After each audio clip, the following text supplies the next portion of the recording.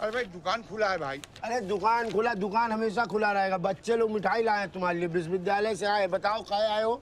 Sir वो anthropology का project है हमारा। हाँ समझे? घाट का इतिहास और संस्कृति जानने आए ज्ञान दो चलो।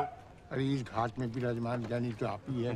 हाँ आप तो सिर्फ़ गलियों के ज्ञानी हैं। शाम के बाद वाला। अरे। जब तुम रिकॉर्डिंग करोगे?